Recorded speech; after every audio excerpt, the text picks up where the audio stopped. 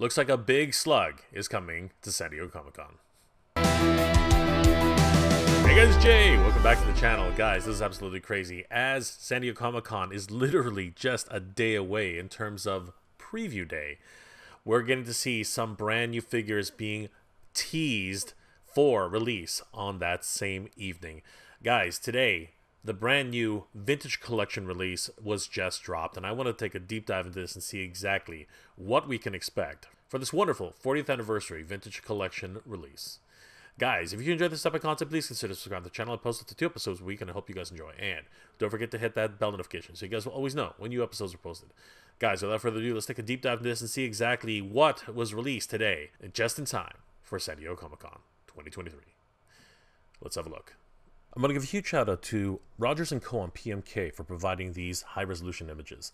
Thank you so much for your support, RNC PMK. It really is appreciated. Guys, this is crazy. Just literally on the on the eve of San Diego Comic-Con preview day, we're getting our first look at the vintage collection Jabba the Hutt set. This is crazy. Now, the press release that was provided to me didn't actually say if this was a San Diego Comic-Con exclusive. It just sort of said that it would be available for pre-order exclusively on HasbroPulse.com starting tomorrow at 10 a.m. July 19th at 10 a.m. Eastern Standard Time. But I want to take a moment and take a look at this because this this is something that really hits the nostalgia vibes here, guys. This is crazy. Let's have a look at this.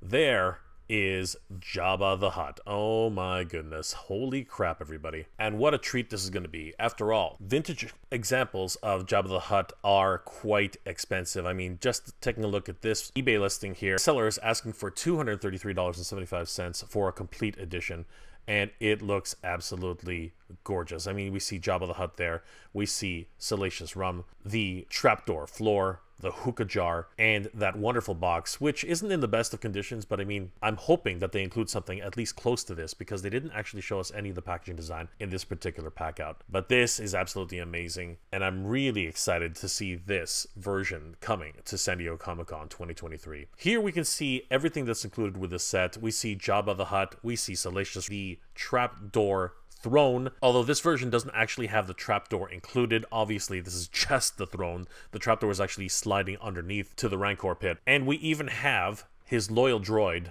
the Smelter Droid 8D8. This is an incredible set and comes with a host of different accessories. Let's take a deeper dive into this, guys, because this, this is going to be a lot of fun. Here we have just the basic set as it would have pretty much been uh, as an equivalent to the original Kenner released set back in the day. And it still includes quite a bit more if you really break it down. We can see Jabba the Hutt, Salacious Crumb there. We see that it also includes a set of chalices, some plates, a whole bunch of different row pillows, some skins, probably animal in nature, the hookah jar, and the guardrail, as well as the throne itself. This is a wonderful set. I can't believe it's being offered for the 40th anniversary of Return of the Jedi. It is a wonderful set, bar none, and I really love the way they've recreated it here in vintage collection style. This is incredible. Here we get a closer look at Jabba himself, and honestly, I really do appreciate all the work they've put into this brand new Jabba. I can't recall if he's already been released previously, but I do love the way they've actually put him together. The facial sculpt looks exactly like he did out of the movie. I love the colors, I love the detail. If you haven't gotten this set before, this is a wonderful opportunity to pick this guy up one more time.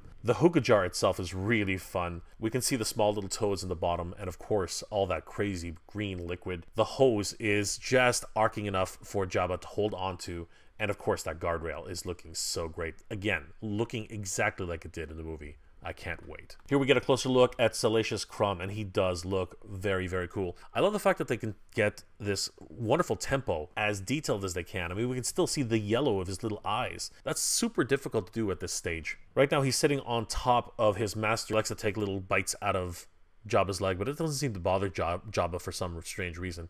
We can see some of those chalices that are positioned there, along with that little saucer cup. And these wonderful throw pillars, they actually look like they're made of some soft material, some soft goods. That is a really wonderful detail, and I'm glad that they're including it into the set. Here we have 8D8. He's actually the smelter droid who R2D2 and C3PO encountered when they were being dulled out their instructions. This particular droid is a bit sadistic. He enjoys torturing other droids, and who knows, he might enjoy torturing people as well. We just have no idea at this stage.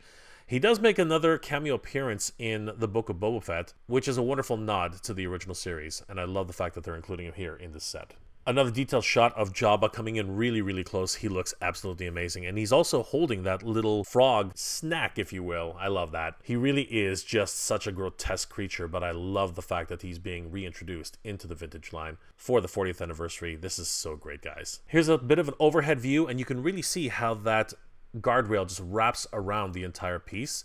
And we can see a really detailed shot of the frog itself inside of the jar. There is no liquid inside, but you can, of course, fill it up with a little bit of water, give it that wonderful effect.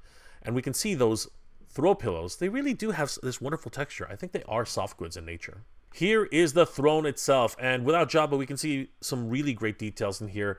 The guardrail is wonderfully detailed. However, there is, or at least it doesn't appear that there's any additional deco on it. It's just the singular sculpt, but that's not really a big deal. I don't mind that. There's no additional wash on the hookah jar either, but that's okay. The, the colors and the simulated liquid really do make it feel like the original vintage set. I love these throw pillows. They really are the highlight of the set, believe it or not. They are what appears to be soft goods, and they seem to be filled with some sort of, I don't know, foam or something. It really looks, really adds that little bit of detail that you need, along with these animal skins. Of course, that's how Jabba sat on his throne to make himself more comfortable. I love the sculpting that's in the.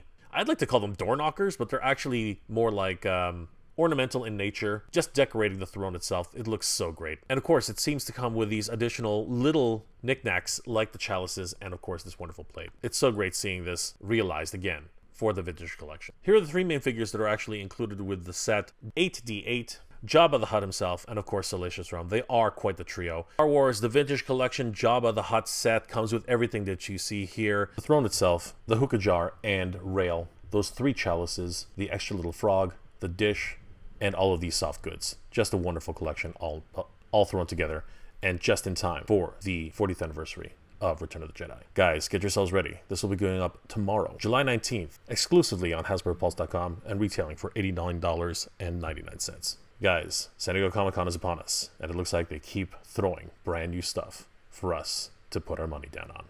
So, guys, it's uh, not exactly 100% sure if this is an actual San Diego Comic Con exclusive. I do know it's only available on HasbroPulse.com.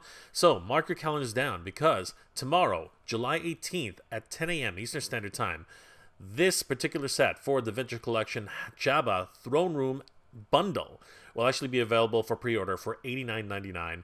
This is crazy, guys. I'm loving this set. Really reminds me of the original vintage Kenner collection. The only thing missing is really the trap door, which does not make any sense in the vintage collection. But for this and the upcoming Jabba's Palace, this is going to be crazy, everybody.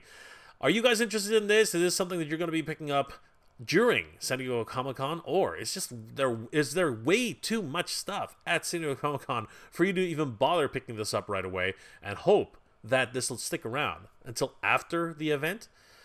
Or is the Jabba throne room just something that you're not interested in all and you've already purchased or at least pre-ordered the Jabba's Palace, which sort of already has something like that, and you're willing to leave this one behind? Guys, leave those comments in the comment section below. If you enjoyed this episode, guys, please do leave me a like. It really does help me out. And if you're in a position to help out the channel, guys, please consider checking out my Patreon page. It's Mega Jay Retro on Patreon. Guys, the patrons and channel members of this channel help me make wonderful episodes every single week, and I couldn't do without them. They are the best. Thank you so much for your support, everybody. It really means the world to me. Guys, I hope you're all doing well, staying safe. And as always, everybody, thank you very much for watching. Your Jedi powers do not affect me, boy. Good journey, everyone. And may the force be with you. Geek proud. I want to give a huge shout out to all my Patreon and channel member supporters. Thank you so much, everybody. It's thanks to your support that this channel continues to grow, and I really could not have done this without you. You guys are the best. Thank you so much for your support, guys. It really means a lot and really helps the channel to keep growing.